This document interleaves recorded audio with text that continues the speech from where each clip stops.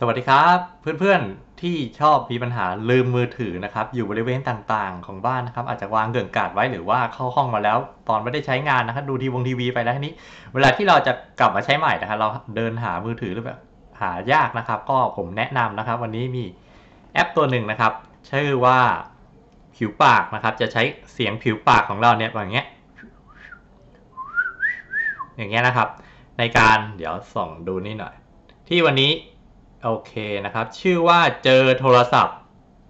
โดยผิวปากเรียกนะครับ วันนี้ต้องใช้กล้องอีกตัวอัด เพราะว่าอัดหน้าจอไม่ได้นะครับ ไมโครโฟนของตัวแอปมันตีกันนะผมอยากให้ฟังเสียงของตัวนี้ด้วยนะครับ เพราะว่าแอปตัวเนี้ยแต่ละฟังก์ชันนะครับ มันจะต้องทำการปลดล็อกก่อน คือเราเข้ามาใช้ครั้งแรกเนี่ยโหลดมามันจะมีแค่เสียงเดียวนะครับ แต่จริงๆเนี่ยตัวแอปมีให้เลือกถึง 6 เสียงนะครับ แล้วก็พวกไอเนี่ยที่ปรับวอลลุ่ม ขึ้นขึ้นลงลงเนี่ยก็ต้องปลดล็อกด้วยเหมือนกันแต่ไม่ต้องห่วงครับแอปตัวนี้ทุกฟังก์ชันที่เขาล็อกไว้ สามารถปลดได้ฟรีหมดเลยนะครับ ไม่ว่าจะเป็นการเร่งวอลลุ่มหรือว่าการจะตั้งเป็นเสียงอื่นนะครับโอเค เดี๋ยวมาดูกันก่อนก่อนที่แอปตัวนี้จะทำงานได้นะครับ เราต้องกดปุ่มนี้นะครับ มันเข้ามาเป็นออฟเรากดให้มันเป็นออนวิธีกดของมันลูดไปนะ แตะเฉยๆเนี่ยมันไม่ไปนะครับอะส่วนไอ้ปุ่มที่อยู่ข้างๆเนี่ย เป็นปุ่มที่เอาไว้ไม่ได้ดาวน์โหลดนะ มันเป็นปุ่มที่ไว้ใช้ในการย่อตัวแอปนะครับ เพราะเวลาที่เราจะใช้งานเราคงไม่ได้เปิดไอ้หน้าจอแบบนี้ค้างไว้นะครับ เราก็จะอยู่หน้าจออื่นหรือเราจะดับหน้าจอไปก็ได้นะครับ มันก็ยังทำงานอยู่อะส่วนด้านล่างนะครับ ไว้เลือกเสียง ตอนนี้ผมเลือกซาวหนึ่งอยู่ คือเข้ามาโหลดมาครั้งแรกเนี่ยทุกคนได้ซาวหนึ่งหมด แต่ว่าตั้งแต่ซาวสองถึงซาวหกเนี่ย คุณจะต้องปลดล็อกก่อน วิธีปลดล็อกไม่ยากนะครับ เขาจะมีวิดีโอให้ดูแล้วกดแตะไปแล้วกดดูวิดีโอประมาณสัก 25 วิหรือไม่ก็ 30 วิต่อวิดีโอนะครับ คือดูครั้งหนึ่งเนี่ยก็จะปลดเสียงได้นะครับ มันก็จะมีเสียงอื่น เดี๋ยวจะลองให้ดูครบทุกอันเลยนะครับจะได้ว่ารู้ว่าแต่เสียงเป็นไง อ่าเดี๋ยวนะฮะอัอันนี้มันก็มีอันนี้นนี้อันนี้อันนี้ไม่เกี่ยวนะ อันนี้มันเป็นโฆษณา โอเค กดเข้ามาแหละแค่นี้พอนะครับ อะผมกดออนไว้นะครับ ผมกดย่อ ผมกดย่อย่อไปอีกก็ได้นะครับ อะ เดี๋ยวเดี๋ยวผิวปาก อะนี้อันนี้เป็นเสียงแรกจะเสียงนี้นะ อ่า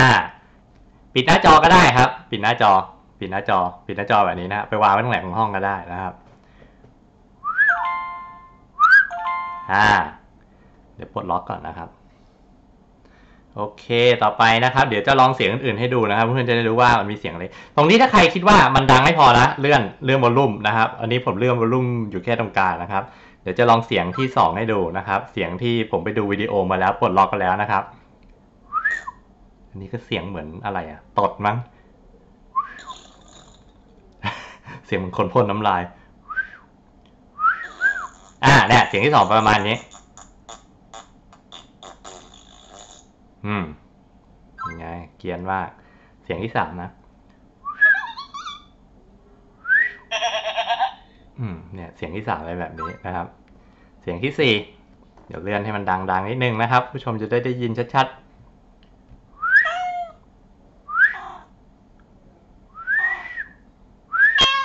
อ่า เนี่ยครับ เสียงที่สี่เป็นเสียงประมาณเสียงอะไรก็ไม่รู้ เสียงที่ห้านะครับ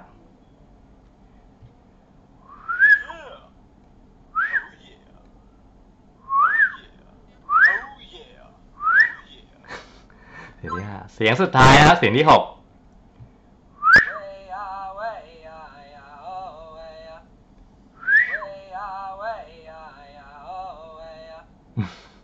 ครับ ก็มีฟังก์ชันประมาณนี้นะครับ ก็หวังว่าจะถูกใจกันนะครับแอปตัวนี้ เพราะว่าก็ผมคิดว่าน่าจะสะดวกกว่า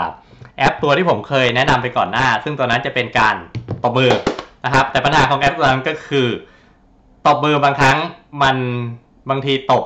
เสียงไม่ดังพอหรือไม่ได้จังหวะที่ตัวแอปมันรู้จักนะครับ มันก็ไม่ร้องไม่อะไรสักทีนะครับ เพราะฉะนั้นบางทีก็ตบมือไปก็เจ็บมือเปล่าๆนะครับ แล้วก็ใช้ผิวปากอันเนี้ยแค่อืมง่ายกว่าเยอะนะครับ ก็จะหาโทรศัพท์กันอย่างง่ายๆ โอเค ถ้าเห็นว่าคลิปนี้มีประโยชน์นะครับ อย่าลืมช่วยกันกดไลค์กดแชร์นะครับ แล้วก็อย่าลืมกดติดตามเป็นกำลังใจให้ผมพร้อมกดรูปกระดิ่งด้วยนะครับแล้วแจ้งเตือนเวลาที่ผมลงคลิปใหม่แล้วพบกันใหม่ในคลิปหน้าบ๊ายบาย